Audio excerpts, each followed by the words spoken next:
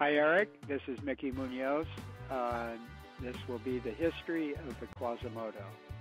Uh, my surfing companion and great friend Bobby Patterson and I were returning from Rincon, a day of surfing at Rincon. When Rincon kind of blows out in the afternoon, we we go down the coast highway and uh, we would check um, Secas, um, which we called Point X at the time, and um, Arroyo Secos.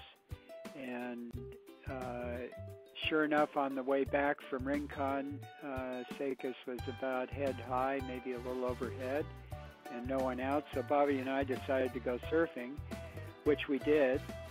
Um, and following behind us, uh, maybe a half an hour behind us, was John Severson. John uh, saw us out and decided he would do some filming. So he set up his 16 millimeter Bolex on the beach and started filming us. And uh, I caught a wave, uh, kind of a closeout shore break wave, and and uh, I did, uh, you know, went into a, uh, a sort of a suicide enter the tube stance and um, that was that. Didn't think anything of it.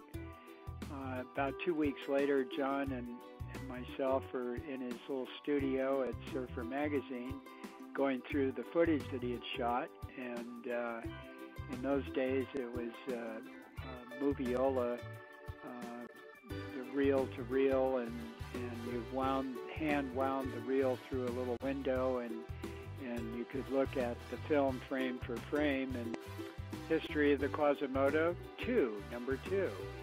As I was saying, we were rolling through the film on the Moviola and came to this uh, closeout uh, shore break wave and and uh, we're going through it frame for frame and and uh, we rolled by this particular frame couple times and, and settled on it.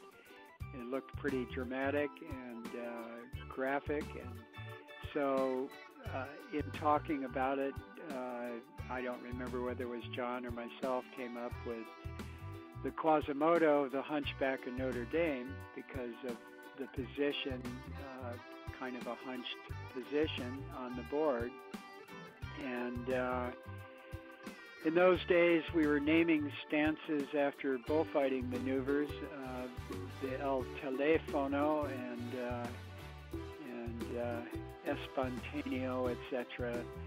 And uh, so it was natural that we named this stance, and we again named it the Quasimodo. Uh, John later on uh, published that in the very first issue of Surfer Magazine, a whole page on myself and and the Quasimodo became the uh, sort of uh, uh, premier photograph. And uh, he purposely misspelled Quasimodo so he wouldn't get in trouble. Um, he he also did another thing. Um, instead of instead of reproducing it in color, he blew it up in black and white and and that's why it's kind of graphic looking. And for some reason, uh, that particular photograph, uh, History of the Quasimodo, number three. Um, that photograph that uh, John Severson uh, blew up to, uh, um, or blew up in black and white, was very grainy and graphic, and and I think it was John's very his artistic eye that that one settled on that photograph as well as as doing it in black and white uh, made it very dramatic and and uh, it's stuck over the years as a as a kind of icon photograph. And, and it was um, actually uh, just a matter of uh, luck and timing that John came along and and got that film and footage, and I've used that that um, image all through my surfing career as a logo, surfboard logo, and and sort of um, representing